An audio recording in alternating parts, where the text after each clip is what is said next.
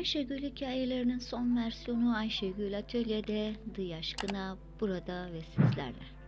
Bugün yapacağımız bu güzel desenleri ne kadar ucuza mal ettiğimizi bu videoyu izledikten sonra göreceksiniz. Sadece 3 malzemeyle mısır nişastası, beyaz tutkal, ahşap tutkalı, akrilik boya.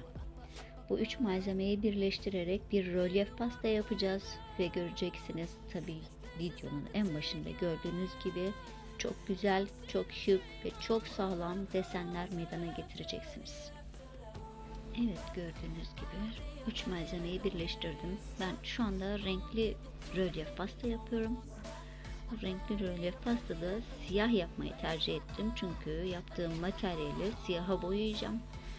E, boyarken de boyadan tasarruf etmiş olacağım. Kolaylıkla boyanacak, kapanması kolay olacak. O yüzden siyah rengi tercih ettim. Siz istediğinizi kullanabilirsiniz. Şimdi göz kararı yaptım aslında. Çok fazla size net bir şey söyleyemem. Göz kararı yapıyorum genelde her şeyi.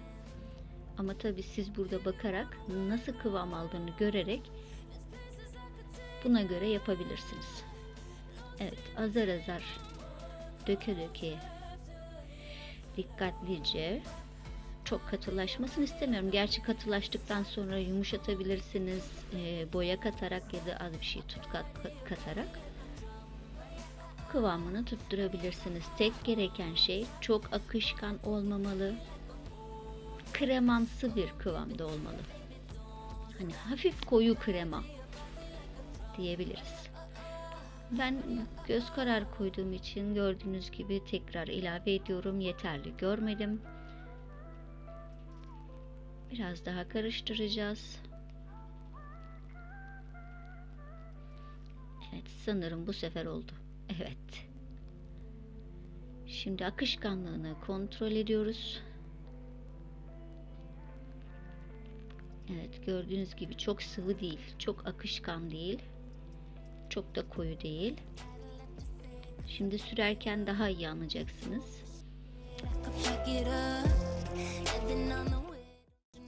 Benim en sevdiğim desenden bir tanesiyle başlıyoruz. İnce bir katman halinde süreceksiniz ki çok kalın olmasına gerek yok. Sadece düzgün hepsi aynı hizada olmalı. Biri fazla biri az olursa desen güzel çıkmaz. Güzelce yayıyoruz. Evet. Biraz daha kaldı.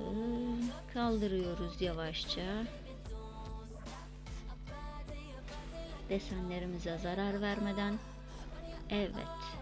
Gördüğünüz gibi en sevdiğim desen meydana çıktı ve bunun kurumasını bekleyeceğiz. Kuruduktan sonra ne hale geldiğini de göstereceğim size. Bu siyah olarak yaptığım ve beyaz olarak yaptığım da var. Örnek olarak burada gösterdim. Sadece beyaz akrilik boya kullandım. Görüyorsunuz.